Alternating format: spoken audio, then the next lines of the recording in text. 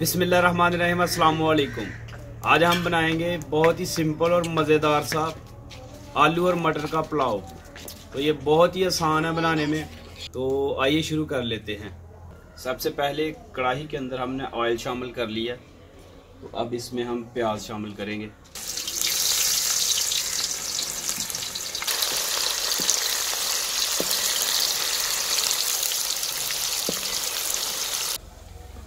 یہ والا برتن دو ہم نے چاولوں کے لیے ہیں، ان کو صاف کر کے بھگو لیا۔ تو دو بڑے سائز کے ہم نے پیاز کاٹے ہیں۔ ایک کپ آئل شامل کیا اور چار میڈیم سائز کے ٹماٹر کاٹے ہیں۔ اور چھ سے سات سبز مرچ درمیانی سائز کی ہم نے بریک بریک کاٹی ہیں۔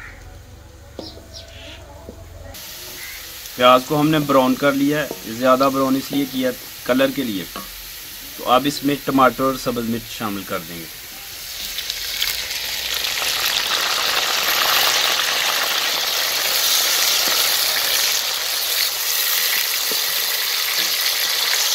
اگر آپ کو ویڈیو پسند آئے تو لائک اور شیئر ضرور کریں اور جو دوست پہلی دفعہ دیکھ رہے ہیں ہماری ویڈیو کو وہ چینل کو سبسکرائب کر دیں اور ساتھ ہی بیل کے بٹن کو بھی ضرور دبائیں۔ ابھی ہم شامل کریں گے نمک۔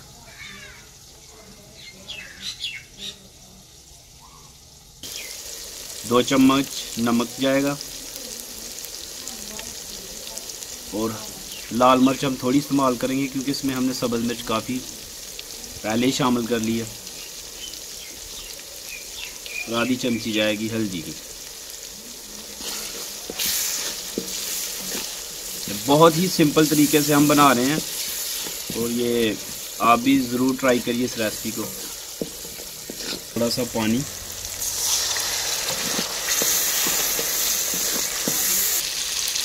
ایک کلو ہم نے مٹر لیے ہیں۔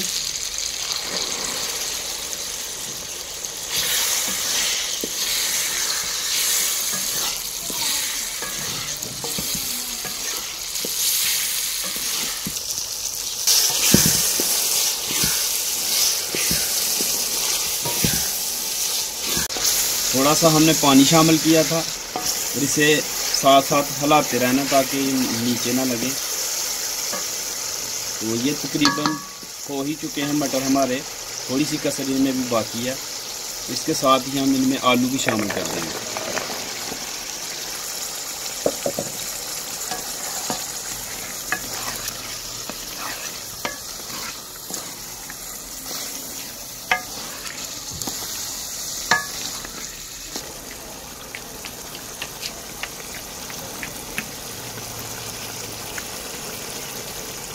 تھوڑی دیر ہم ڈکنا رکھ کے پکائیں گے۔ ایک دفعہ ہلائیں گے۔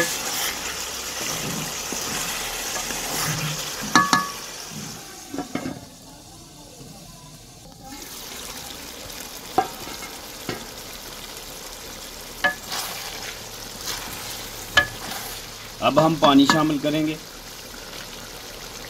پانی اس میں جائے گا۔ یہ دو بول ہمارے چاول ہیں اور پانی جائے گا اس میں ساڑھے تین بول۔ بسم اللہ۔ ایک۔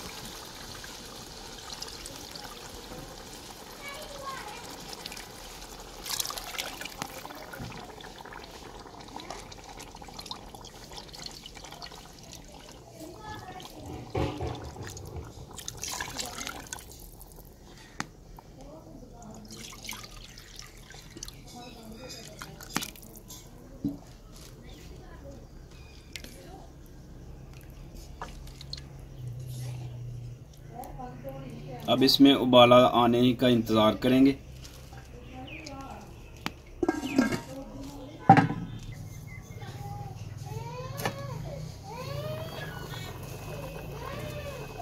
پانی ابل چکا چاول شامل کریں گے۔ بسم اللہ۔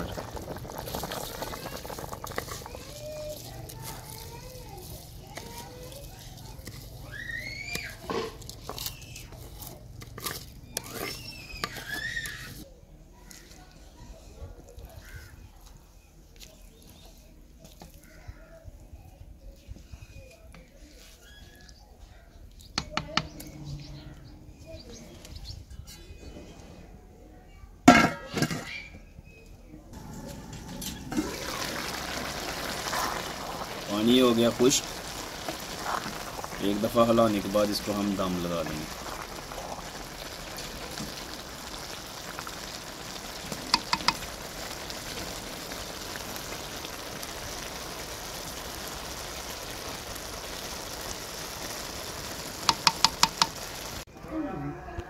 دم لگا دیا ہم نے۔ آٹھ سے نو منٹ دم لگانے کے بعد اس کو ہم نیچے اتار لیں گے۔ بسم اللہ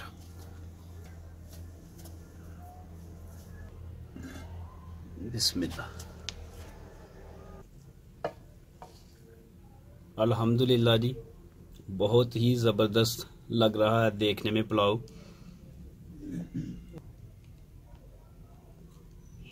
ساتھ ہی ہم رائتا بنا رہے ہیں سبز مرچ سبز دھنیا اور پودینہ یہ چیزیں ہم اس میں شامل کی ہیں ہم نے، ان کو اچھے سے کوٹ کے۔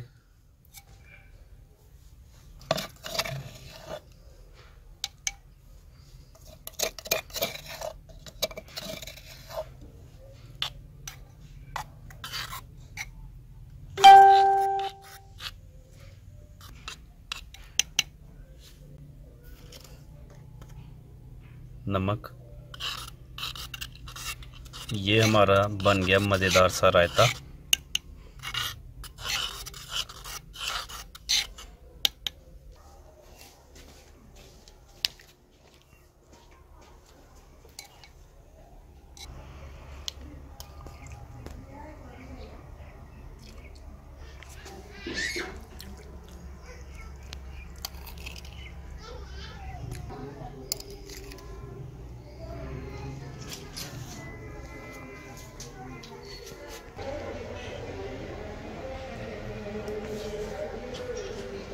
ہاں جی ابو جی کس طرح بنے نا؟ بہت مزیدار۔